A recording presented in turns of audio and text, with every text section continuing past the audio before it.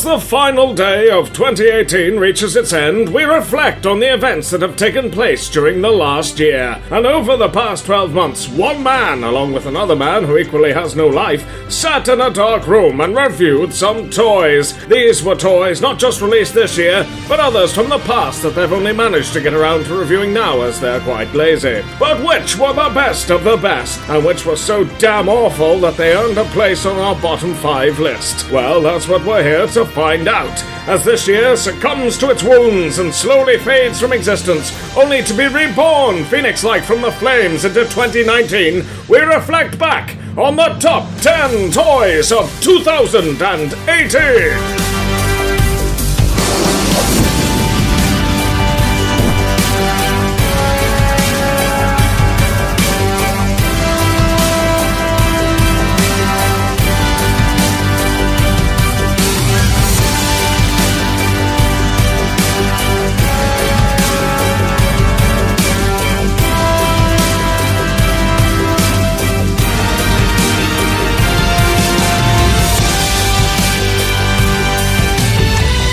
YouTube viewers and random subscribers, and welcome along to the top 10 toys of 2018.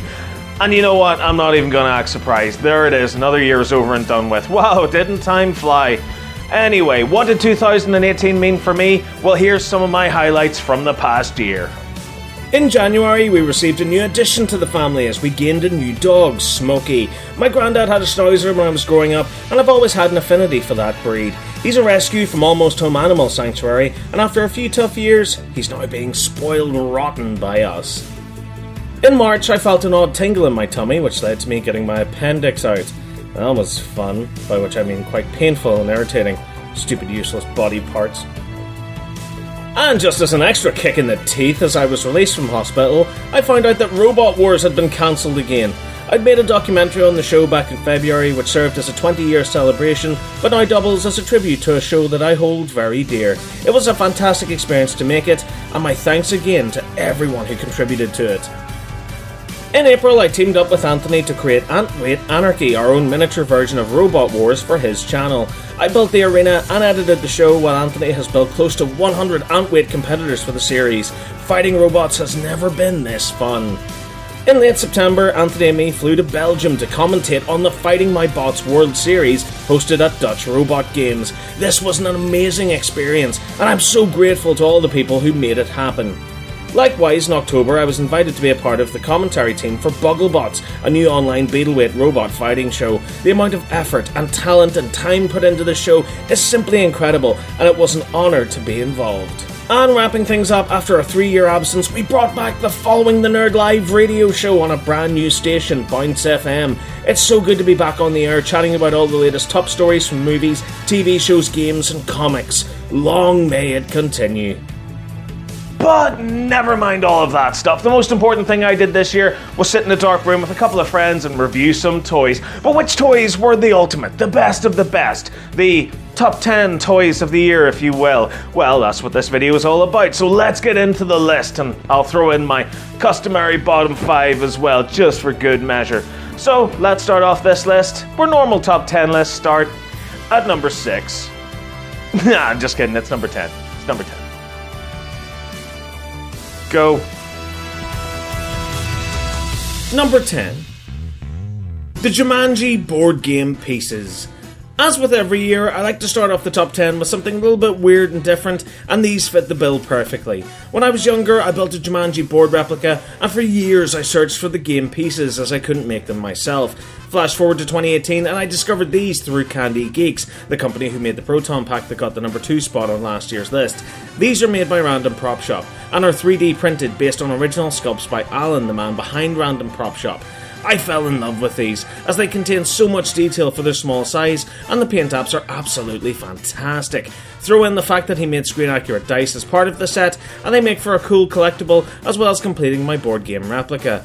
Alan is working on a replica of the game as well, and I can't wait to see it. No doubt it will appear on one of these lists in the future if it's as good as some of his other work. Speaking of which, check out his prop replicas over on his Instagram page, they are something truly special. Number 9 The Simpsons Talking Krusty Doll. Again, something a little bit weird. This is a toy that was released many years ago and holds a bit of a nostalgic place in my heart. It's from a Treehouse of Horror episode that has become quite iconic and mirrors the Chucky doll which tries to kill Homer. What's so great about this toy is that for something designed for kids, the makers really went out of their way to copy the doll seen in the show, from the style of packaging on the back to the fact that it has a good and evil setting. It isn't fully accurate, but you can tell that they put thought into its design. Yes, I would have liked a few more accurate phrases, and the doll constantly looks like it wants to kill you, but aside from that, it's a neat little collectible. Number 8 The 13th Doctor Adventure Doll. Yeah, I don't know why they called this an adventure doll either. But this is a pretty solid figure regardless. The detail is nice, the articulation is great, and the clothing actually fits better than a Big Chief Studios figure. I've seen the original prototype head molds for this, and the paint apps just do not do it justice. The detail in the original looks exactly like Jodie Whittaker. There are a lot of talented figure modders out there, and with the right paint applications and texturing, I swear this could be a contender for a Big Chief Studios figure. Here's hoping the 5 inch figure looks just as good. Number 7 the Marvel Select Guardians of the Galaxy Volume 2 figures.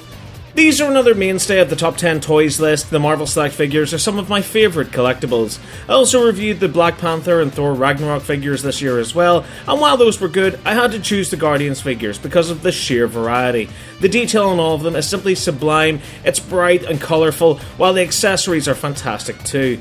The two main figures are Star Lord and Drax, but they also come with Rocket and a baby Groot, which actually features articulation. I am very annoyed that we didn't get a Gamora to complete the lineup, making the team look somewhat incomplete when on display. I'm a massive Guardians of the Galaxy fan, and to see them in figure form, created by one of my favourite figure makers, is wonderful to see. Number 6 The Crystal Carvings Crystal TARDISes. Not really a toy, but a wonderful and classy collectible. I've reviewed several of these over 2018, and none of them have failed to impress me. I can see myself having these on display in a cabinet in my living room when I'm an old man, and I can't say that about most of the other entries on this list. The 3D laser engraving effect used to make these look so good, with each Doctor rendered in three dimensions inside a solid brick of crystal shaped to look like a police box. Add in the light up base, and they become a stunning, eye catching, and high quality way to represent your love for the show. Crystal carvings have all of the Doctor's incarnations available, so you can choose your favourite version to display forever, encased in flawless crystal. But never mind all that high quality good stuff. Now it's time to take our time honored traditional break from the top 10 list to focus on the lowest of the low, the worst of the worst. That's right, the music's kicking in. All of you know what time it is. In fact, I think this is what most of you came here to see in the first place. It's 2018's Bottom 5. The Bottom 5! And at number 5, it's the Hexbug Robot Wars Clusterbot Stadium. Necessarily a bad thing, but it is a little bit questionable. I love Hexbug, particularly their work on the BattleBots line over in the United States. With Robot Wars being cancelled this year, it left a bit of a sour taste in fans' mouths, and with a few dribs and drabs of merchandise released from the series, this didn't help. Essentially a reskin of an already existing Hexbug toy, it didn't even grasp the correct terminology of what a clusterbot is. A fun toy, but little to do with Robot Wars. At 4, it's the Infinity War Titan Effects figures. Avengers Mania hit us hard in 2018 with the release of Infinity War, and plenty of merchandise was released to go along with it. I remember getting the Mark III Iron Man toy 10 years ago when the first movie in the MCU was released, and being really impressed with it. But what a slippery slope it's been since then. At the bottom we have these, which feel like those cheap hollow figures that have been farted out by the boatload over the last few years from many franchises, but with a big, chunky electronic backpack thrown in that adds sound effects. Because, you know, we all remember that scene where Thor had a big silver backpack in the movie, don't we? I will admit that it's clever that no matter which backpack is attached, it will recognise that figure and only play its speech effects. But aside from that, these just feel kinda lame. Taking the third spot, it's the B&M 12th Doctor set. I got a lot of flack for reviewing these despite making a video saying that I wouldn't, but after the amount of requests I got asking me to take a look at them, I eventually gave in, and they were exactly what I thought they would be. Poor build quality, awful paint apps, and not much new. that would be okay, aside from the fact that this was the first time that Bill Potts was released as a figure. That's right, this was released before the actual Bill Potts standalone figure came out. And these were super hard to find, as only a limited amount were made. This led to scalpers selling them for ludicrous prices online, and people travelling for miles just to try and find them. In the end, they're cheap, lazy, and just basic playthings for kids. Remember when Doctor Who figures were so good that kids could play with them and adult fans could collect and display them at the same time? That feels like such a long time ago. Taking the runner up spot, it's the Character Options 13th Doctor Sonic Screwdriver. I've made my thoughts on the design of this Sonic quite clear by now, but Character's first release of this toy did it no favours. The moulding was so weak, you could see the electronics inside it, and the light effects were duller than the person who dreamed up this monstrosity in the first place. So awful! The character were quick to re release it with improved detail and features just a few weeks after it came out. It left a lot of fans angry that they had rushed to pick up what was ultimately an inferior version of the Doctor's new toy. And the worst toy of 2018 is, drumroll please, the Avengers Infinity War Marvel Legends Infinity Gauntlet. I don't even know where to begin here. Marvel Legends have made some stunning roleplay toys from the Marvel movies over the years that you would swear that they're genuine prop replicas. In fact, some of them have even ended up on top 10 toys from the past couple of years here. Remember the Iron Man helmet with the magnetic faceplate? The Star Lord helmet with built in Bluetooth speaker? Amazing replicas with creative and practical ideas implemented into their designs. So, what the hell happened? The Infinity Gauntlet is a stride in the wrong direction. It looks like cheap plastic. The back is covered in screw holes, and little to no paint apps have been applied. The lights and sounds are so very basic, with static infinity stones that can't be popped out.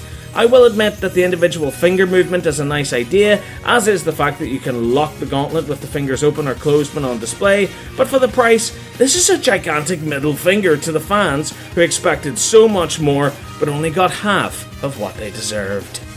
And so, those are 2018's bottom five. And to punish them, I've decided to hand them over to an angry fiance who's put up with far too much for far too long. Well, these aren't staying in the house.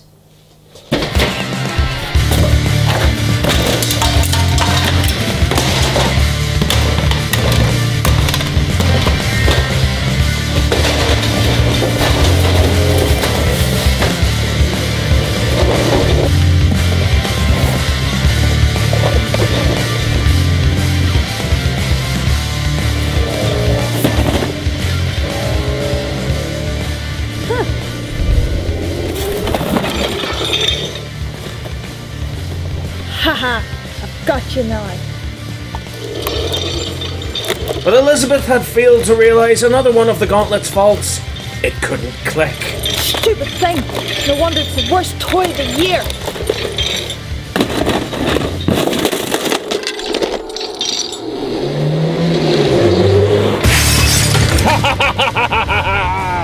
That's how it's done.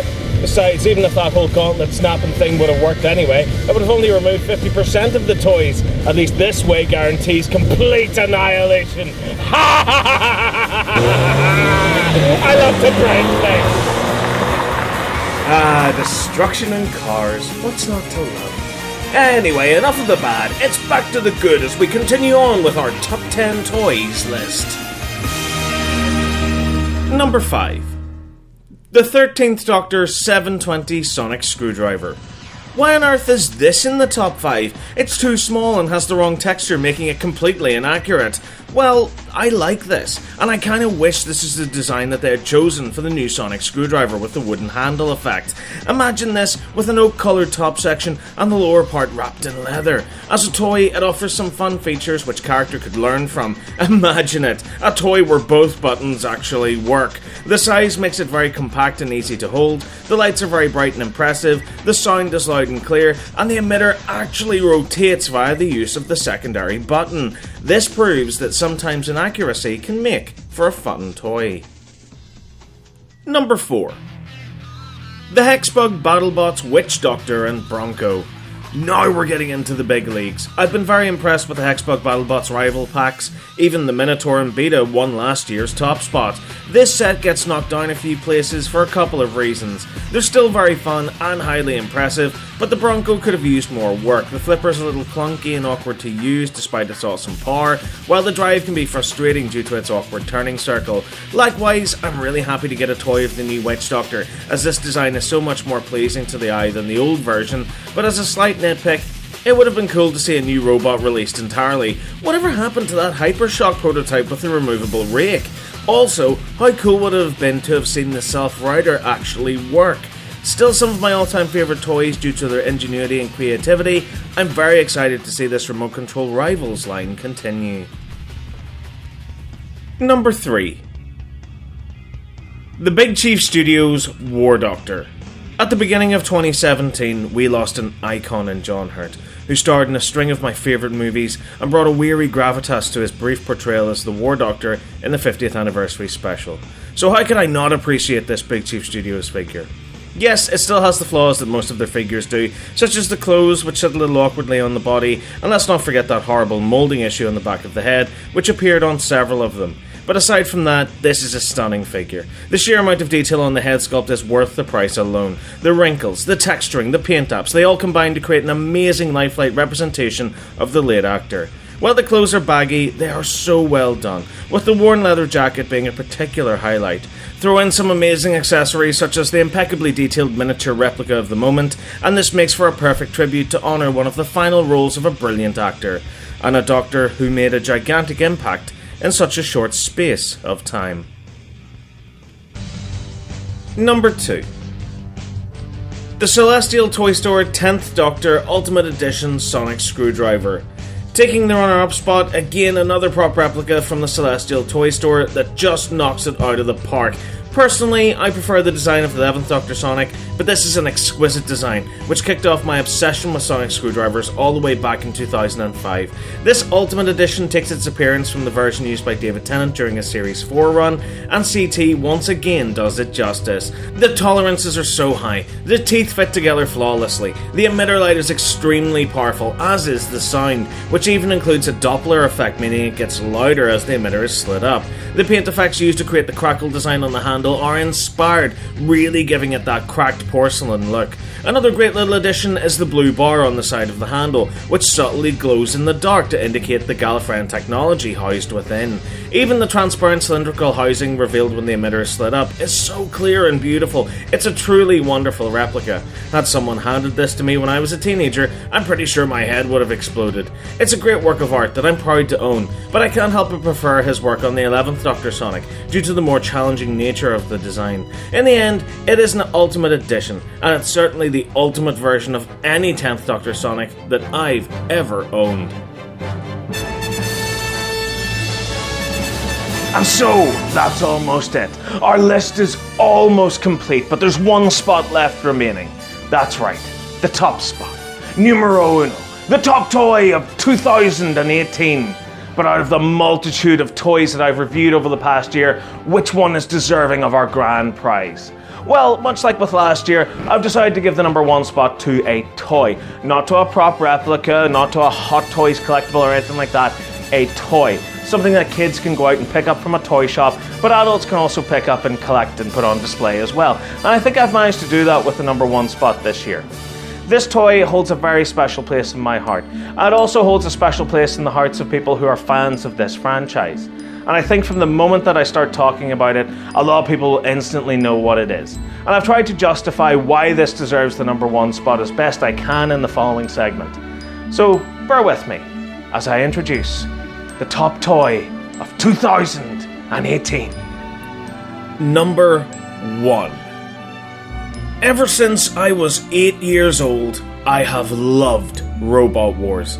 Not a lot of people seem to understand it, and that still seems true today as it was brought back, then sadly cancelled again after three series.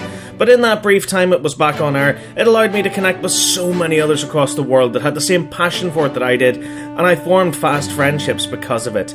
2018 may have seen the second death of the show, but it also saw Hexbug release the first new Robot Wars toys in nearly two decades. Yes, some were disappointing, like the Clusterbot Stadium, and others were fun, yet quite generic, like the Impulse and Royal Pain set. But there was one toy that managed to please everyone. The one toy they made based on an actual robot from the show.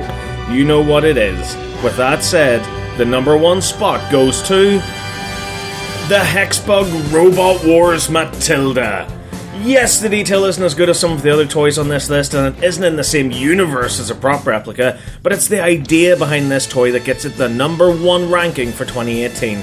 As I said, it's the only toy released from the reboot of the show to be based on not only the house robots, but any of the machines featured in the show. Plus, it's a nice bit of ingenuity from Hexbug, as it's currently the only Robot Wars or BattleBots toy to feature two independently controlled weapons, with triggers for the flipping tusks and the rear flywheel present on the top of the controller. It's huge and chunky, by far the biggest robot fighting toy made by Hexbug.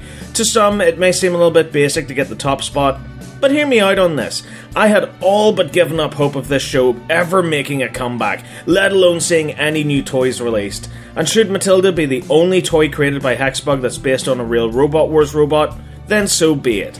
But it means that fans can go out, buy one, and put it on display as a nice little tribute to the fact that for one shining moment, their favourite show was back. And that is why the Hexbug Matilda earns 2018's Top Toy of the Year. And so, those were my top 10 toys of 2018. Did you agree with my list? Did you disagree? Let me know in the comments section either way. And all that's left for me to do is to wish each and every one of you a happy, healthy, and bright 2019. Happy New Year, everyone. And let's take this new year as a new start for us all. Let's stop fighting with each other and arguing and shouting because, in the end, it doesn't matter what gender you are, it doesn't matter what race you are, it doesn't matter what religion you are. A little respect goes a long way for everyone. And once we learn to work together, we can work on building a better tomorrow for years to come for all of us. I'll see you all in 2019, guys. Happy New Year.